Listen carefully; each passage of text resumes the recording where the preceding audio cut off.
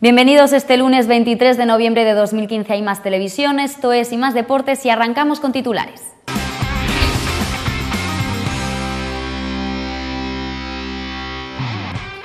Formac Villarrubia 0, Madridejos 0. El equipo de Sergio Inclán jugó bien, tuvo más ocasiones, pero mala suerte de cara al gol. Les mostramos el resumen del partido de la jornada. Fútbol Sala Valdepeñas 3, Zamora 2. El conjunto vinatero vuelve a ganar, pero sufriendo contra un Zamora que se adelantó en el marcador. Y balonmano Alarcos 33, La Roca 32. Sufrida victoria la del Alarcos que tras una buena primera parte tuvieron que remontar el resultado en la segunda para mantenerse en la sexta posición. Empezamos con fútbol. En segunda vez, Socuéllamo se tuvo que conformar con el empate a cero en el campo del Sestao River. Los vizcaínos fueron más al ataque y parece que el equipo de Ángel García Cosín se conformaba con el reparto de los puntos. El Socuéllamo se empató ayer contra el Sestao River. Así el equipo de Ángel García Cosín sigue sumando de uno en uno en la clasificación. Es un décimo con 17 puntos. El Sestao River jugaba en casa y quiso llevar la iniciativa del partido. Los vizcaínos tenían más posesión del balón y llegaban más y mejor a la portería rival, pero sin suerte de cara al gol. Y culpa de ello la tuvo la defensa del Socuéllamos. El bloque de García Cosín estuvo muy bien posicionado en el terreno de juego sin dejar apenas espacios. A los dos equipos les faltaba fluidez en su juego durante la primera parte. Los locales vieron su ocasión más clara en una acción de Avaroa. Con el 0 a 0 en el marcador llegaría el descanso.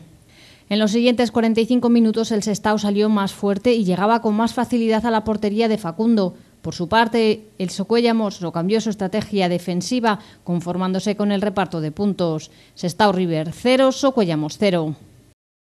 Seguimos con el fútbol de tercera división. El Formac Villarrubia se mostró mucho más defensivo en la primera parte en su partido contra el Madridejos. Eso sí, en la segunda y tras la expulsión de su capitán se vino arriba y tuvo muchísimas más ocasiones que su rival, que el Madridejos. Incluso Juanma Ortiz tuvo en sus botas el gol de esos deseados, de esos ansiados tres puntos para el Formac Villarrubia, pero una vez más el equipo de Sergio Inclán no tuvo suerte de cara a portería, de cara al gol. Eso sí, el equipo se queda con las buenas sensaciones del encuentro. El resultado final tuvo que ser Formac Villarrubia 0, Madridejos 0.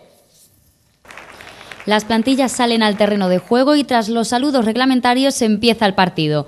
En el partido hay dos partes bien diferenciadas. Durante el primer tiempo los primeros minutos fueron de dominio alterno. Se producen muy pocas llegadas a las áreas, aunque parece vislumbrarse detalles de calidad sobre el césped como este, el caño del número 7 del Madridejos.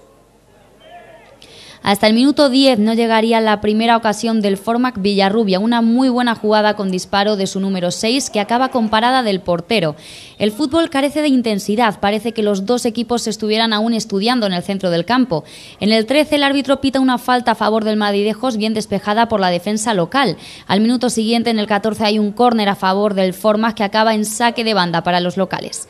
En el 18 se produce una muy buena contra del Madridejos que la defensa franjiblanca consigue parar. Y en el 20 hay una falta lejana a favor del equipo visitante que se va por muy poco. Esta primera parte se caracteriza por tener mucha lucha en el centro del campo, pero sin ocasiones por parte de los dos equipos, ya que apenas hay llegadas en las áreas rivales.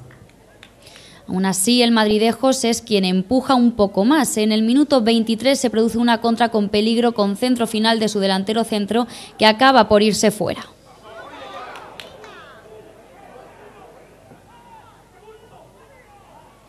Es el Formac Villarrubia que se defendía de los ataques del rival. En el 29 hay una muy buena jugada del Madridejos con penetración de su número 11 en el área de Ruiz Cava que finalmente acaba también sin sumarse un gol al marcador.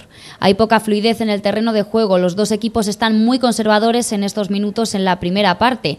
Es más, el público aplaude incluso cada vez que el Formac Villarrubia protagoniza alguna jugada significativa para tratar de animarlo.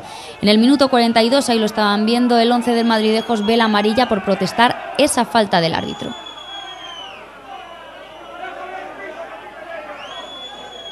Ahí está el colegiado enseñándole la cartulina amarilla. El equipo local tendría la última antes de ir a vestuarios, una buena intervención del número 2 de Agus con pase al 7 que centra en fuera de juego. Así llegaba el descanso con pitada incluida de la grada a los jugadores. Al poco de empezar la segunda parte, Juanma Ortiz hace una muy buena jugada por la banda con centro y remate que detiene el portero. El guion ha cambiado y ahora es el Formas quien sale con algo más de garra, con algo más de intensidad. En el minuto 3 llegaría la jugada más polémica del partido. El árbitro saca roja al capitán local. El jugador no tenía ninguna tarjeta precedente y vio la roja directa por esta acción que acaban de ver. Este contratiempo, claro, hizo que Sergio Inclán moviera su once y en el minuto 6 realizara su primer cambio. Entraba así el número 14 y se retiraba el 7. De esta manera, el técnico franquiblanco fortalecía más el centro del campo. El Villarrubia, por lo tanto, se quedaba en desventaja. En el minuto 16, el Formas protagonizaría la ocasión más clara hasta el momento del partido. Un saque de banda con control de Juanma Ortiz que pasa atrás con remate final para y para el portero. Ahí lo están viendo. En el 18, saque de una falta con remate de cabeza del Villarrubia que detiene también el guardameta, el guardameta visitante. Con uno menos, el Formac está todavía más metido en el partido. Sería en el minuto 26 eh, con esa jugada, esa jugada del equipo local, un pase en profundidad al 9 a Juanma Ortiz que regatea al portero pero falla puerta vacía. En el 28 hay una muy buena jugada del Madridejos por la banda con un muy buen despeje de un centro peligroso del portero local. Y en el 35 se producen cambios de nuevo en esa plantilla, en la plantilla del Formas Villarrubia. El número 15 entra por Juanma Ortiz que se marcha con la ovación de la afición. El forma que está jugando bien, se merece la victoria, pero tiene la mala suerte de cara a portería y parece que esa mala fortuna vino también en forma de apagón. Y es que en el minuto 39 los focos se apagaron, por lo que, el partido se tuvo que interrumpir unos cuantos minutos. A la vuelta se producía el último cambio en el forma. Con los 90 minutos cumplidos en el descuento no cambiaría el resultado final que acabó en tablas. Formac Villarubia 0, Madridejos 0. Tras el encuentro, tras el partido, los entrenadores de los dos equipos pudieron hablar con los micrófonos de IMAS Televisión y primero van a ver las declaraciones que hizo el entrenador del Madridejo, Sergio Rubio. Bueno, la lectura es que la primera parte hemos tenido alguna ocasión en alguna contra, eh, la toma de decisión de nuestros futbolistas no ha sido la adecuada, pero bueno, al final la toman ellos y una vez son acertadas y otra equivocada. Hoy nos quedamos con que ha sido, eh, ha sido equivocada, pero creo que, que han hecho una buena primera parte. Y la segunda parte, pues bueno, después de la expulsión hemos tratado de tener el control del juego, intentar de, de, tener llegadas y no ha sido así, no ha sido así. Quizás pues eh, hoy el Madrejo venía sin un punta que normalmente solía jugar con él y, nos hemos tenido que adaptar un poco a esas circunstancias. Eh, puede ser un hándicap para, para el Madridejo, pero creo que, que, mi equipo un punto es positivo. Venimos de una racha de ganar tres partidos seguidos, eh, sumas un punto fuera ante un gran rival y ante un rival que, que, por nombres y por equipo y por entidad pues es un equipo para, para estar arriba o se preveía estar arriba, con lo cual contento porque mi equipo a día de hoy está entre los cuatro mejores. ¿Qué le ha pasado, Sergio? A raíz de la expulsión eh, paradójicamente parece que ha sido un poquito mejor el Villarrubia, por lo menos que ha sacado casta el equipo rival en este caso, y como que el Madrilejo se ha dado un paso atrás. bueno, quizás estábamos bien con balón, pero teníamos, eh, fallábamos en los pases. Eh, intentábamos generar juego, intentábamos combinar, intentábamos buscar la profundidad, intentábamos superar líneas de presión, pero al final el último pase o cualquier pase que intentábamos progresar, pues nos la robaban y tiraban una contra él el Villarrubia, ¿no? Creo que bueno, en el fútbol eso puede existir, eh, te crees que lo puedes hacer fácil y se convierte en todavía más difícil, pero bueno, me quedo que mi equipo compite cada partido, cada domingo y hoy no ha sido, ha sido igual, ¿eh? ha competido y, ha sacado un punto en un campo difícil. Nosotros veníamos a intentar sumar de tres, pero oye, no se puede ganar, pues nos llevamos un punto para casa. Yo creo que en ese sentido, Sergio, tienes razón, ¿no? El Madridejos ha sido uno de los equipos más sólidos que ha pasado por aquí, por el municipal de Villarrubia. Tú como conocedor de la categoría del equipo, ¿ves a Madridejos preparado para, aspirar a ese de ascenso? Bueno, yo decirte que lo veo preparado no, no sé quién para decirte. Veo que yo confío en mi equipo y en mi plantilla y en todos los jugadores que tengo y trabajamos para intentar conseguirlo. El año pasado estuvimos todo el año arriba y no salimos en la última jornada. Pues este año vamos a tratar de meternos, está claro que vamos a tratar de, competir con todos, eh, que la liga está más ajustada, que la liga está mucho más igualada y bueno, que cada domingo hay una batalla y tenemos que ir a por ella. ¿no? ¿Qué te ha parecido Villarrubia, Sergio? Es un equipo que, como bien has dicho, está compuesto de, nombres, ¿no? un buen presupuesto, un buen equipo. ¿Qué, por lo que has visto hoy, ¿qué le ha podido pasar a Villarrubia para acumular cinco derrotas consecutivas, hoy un empate, 11 jornadas ya sin ganar? Yo creo que eh, por lo que he analizado, ¿no? Eh, que tampoco me podía basar mucho en el trabajo que tenía Félix Pérez, porque todos los vídeos, todas las referencias que teníamos eran del equipo de Félix Pérez, solo habían jugado un partido contra las Pedroñeras, del cual no teníamos ningún informe, pero sí que nos habíamos guiado partido de que jugasteis aquí contra Zuqueca. Y bueno, pues yo creo que es un equipo eh, individualmente muy bueno, pero que colectivamente no sabe a dónde tiene que ir. ¿no? Quizá le falta pues eso, saber lo que tienen que hacer en cada momento y a partir de ahí creo que tienen potencial y buenos futbolistas para, para sacar esto adelante por, por, te empiezo a decir todos y al final te digo que, que, tenéis muy buena plantilla. Pero al final esto es un juego colectivo, no podemos mirar las individualidades. Si mi equipo sabe lo que juega, si mi equipo sabe lo que tiene que hacer en cada momento, pues tendré mucha más facilidad para sacar los partidos adelante. Nosotros no tenemos nombres y tenemos eso. Tenemos un equipo que sabe competir y que sabe lo que tiene que hacer en cada momento. Eh, con lo cual, pues esto es un deporte colectivo, si no estaríamos jugando al pádel, ¿no? como decimos normalmente. Sergio, ¿qué te ha parecido la, la expulsión? Porque la grada ha sido muy reclamada la decisión del árbitro, a lo mejor un poco exagerada. ¿no? Ha sido una entrada, la verdad que no la he visto yo muy bien, pero el momento que bajo la plancha por delante, pues lo mismo al final te dice, te expulsa. Hoy pues el árbitro la toma así, otras veces me pasa a mí en contra, me expulsan a un jugador mío. Pues bueno, son decisiones que toman y decisiones que hay que aceptarlas. Eh, yo quiero que pite lo que es, tanto para mí como para el equipo rival. Eh, pues hoy me ha tocado a mí sufrir, o a vosotros sufrir, jugar con 10, pero bueno, al final vamos a centrarnos en que los árbitros una vez aciertan se equivocan. Tampoco te puedo decir si ha sido acertada o equivocada. Él, él ha tomado esa decisión y oye, pues es el que manda el encuentro. También habló el técnico local, el técnico del Formac Villarrubia, Sergio Inclán, y estas fueron las declaraciones y la visión que tuvo el técnico del partido. Bueno, eh, son partidos completamente diferentes. Evidentemente, eh, el rival pues está bien plantado en el terreno de juego. En, luego después, en, eh, cuando nos quedamos con unos meses, evidentemente ellos quieren ir a por el partido, cambian un poco su, su estilo, su forma, de tratar de llevar un poco más la iniciativa para abrir el campo, etcétera, y nosotros ahí en esas situaciones, pues la verdad que hemos, hemos interceptado muchas pelotas, hemos robado, hemos circulado, los hemos pillado más abiertos y hemos tenido mejores situaciones, ¿no? El partido en el primer tiempo fue un partido muy trabado, muy cerrado, un equipo que como el Madridejos que compite muy bien, compite todas las pelotas y es difícil meter mano, ¿no? Prácticamente yo creo que no hubo ninguna ocasión en, en ninguna de las dos áreas. ¿no? La segunda parte, pues evidentemente el partido se abre más, se hace un poco más eh, alocado, por decirlo de alguna forma, y tienes más opciones, porque al final el fútbol son espacios. Si no tienes espacios es difícil maniobrar y en el primer tiempo, pues con las fuerzas, cuando estaban pues eh, en, en, pleno apogeo, pues es difícil encontrarlos. Además con un equipo que tan intenso y tan duro como, como es el Madridejos. ¿no? Ya lo avisabas, ¿no, Sergio? En la previa que el Madridejos iba a ser un equipo muy rocoso, que compita mil por mil, que los partidos son de 0-0. Claro. 1-0-0-1. Sabía. Hombre, perfectamente. Sabía que es un equipo pues, que está muy bien armado atrás, que tiene centrales de, una contrastada experiencia, asume en medio campo, gente con una fortaleza física tremenda y que iba a ser un equipo que, que nos iba a poner las cosas muy difíciles, que iba a ser un partido duro, con muchos balones divididos, o te metías en esa pelea o cuidado, que este es un equipo que por algo está en puestos de playoff, nadie se lo ha regalado, ¿no? En cuanto a sensaciones, Sergio, yo creo que, que, que el Villarrubia sabe reforzar este partido, ¿no? 0-0, sí. sacas un punto ante un rival que está en playoff de ascenso y sobre todo dando la cara eh, en ese partido de la expulsión de Alessi, dando la cara y mordiendo y terminando el partido en el área. Correcto, correcto. Eh, más que los puntos o las victorias hay que quedarse con las sensaciones ¿no? y la sensación es de que el equipo ha hecho ha trabajado el partido ha trabajado el punto. Las dos tres ocasiones más claras del partido las hemos tenido nosotros. Yo creo que en el cómputo general eh, hemos sido merecedores o acreedores de la victoria de sumar esos tres puntos.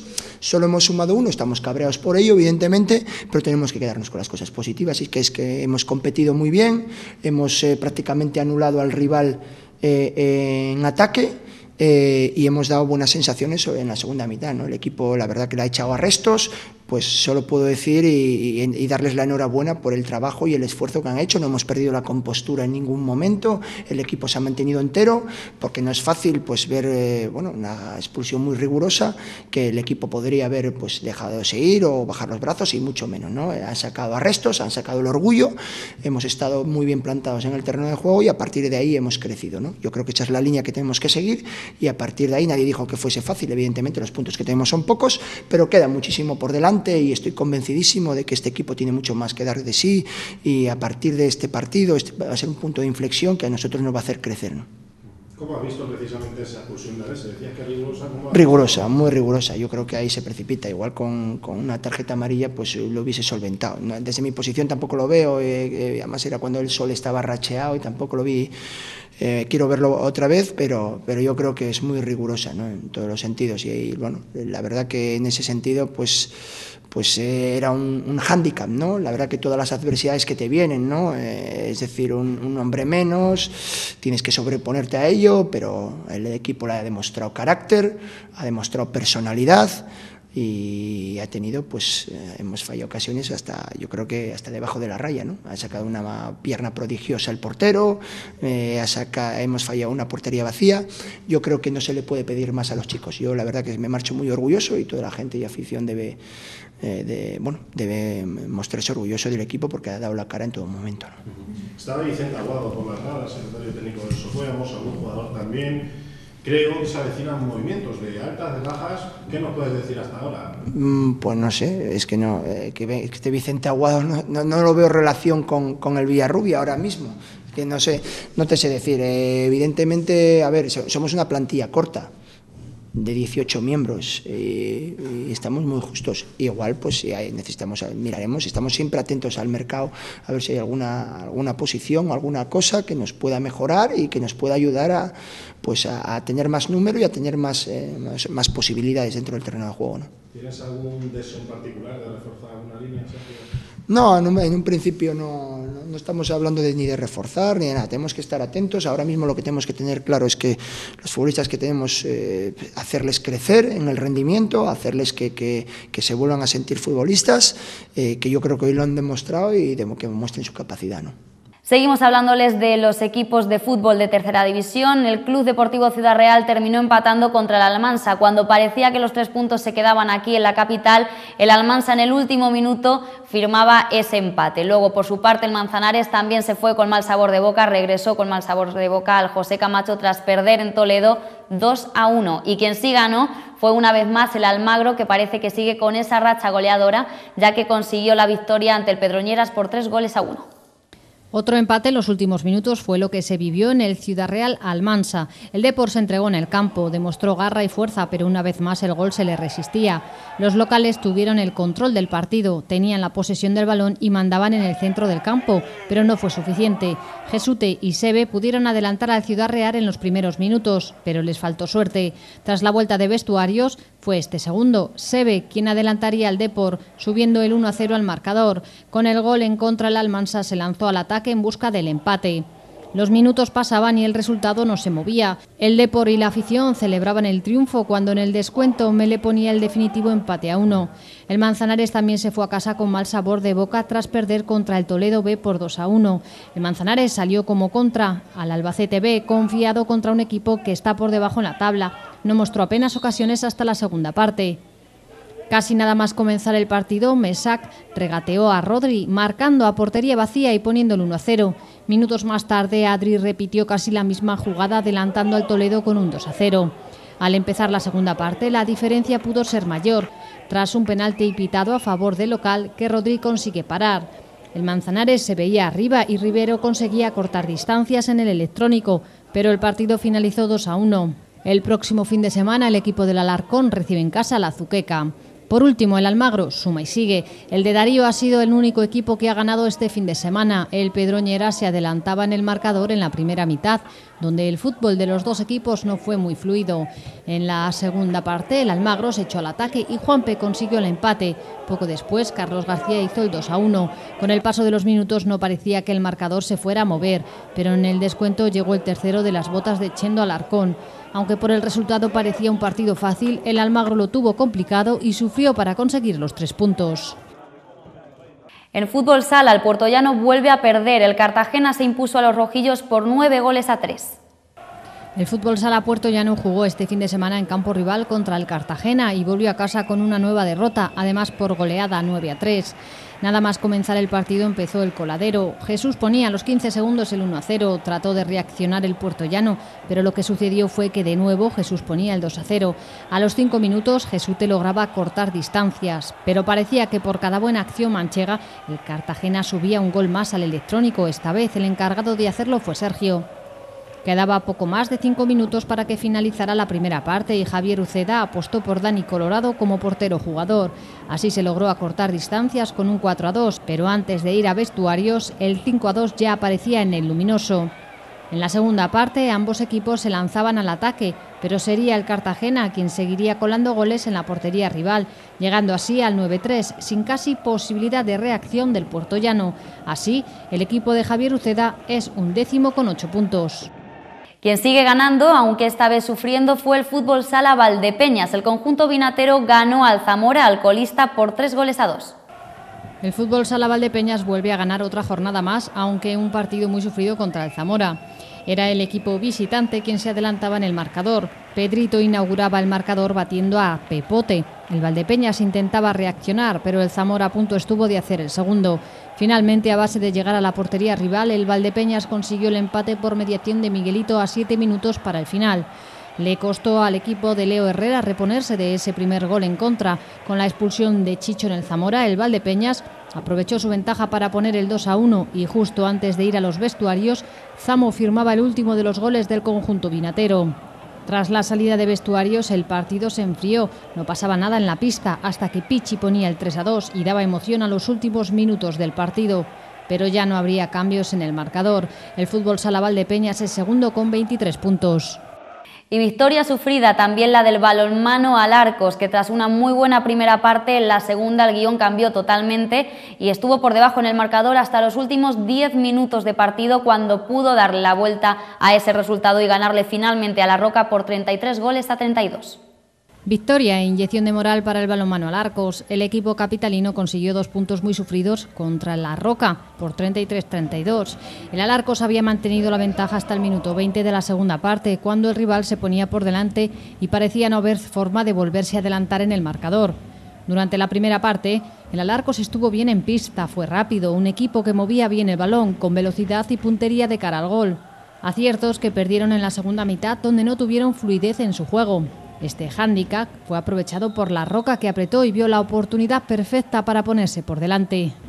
A 10 minutos para el final del partido el Alarco remontó y pudo llevarse la victoria en el Quijote Arena con su afición de testigo y ante un rival complicado. De esta forma, los de Javier Márquez siguen manteniéndose en la sexta posición de la tabla. Y como siempre nos despedimos con la foto del día de este lunes 23 de noviembre de 2015. Se está, vean. Nos la envía Manuel Jesús Moya. Están viendo a María de Gracia Sanz Pareja, una de las principales impulsoras del balonmano en Puerto Llano, que ha fallecido a los 53 años tras una larga enfermedad. Desde IMAS Deportes, desde IMAS Televisión, mandamos nuestro apoyo a la familia.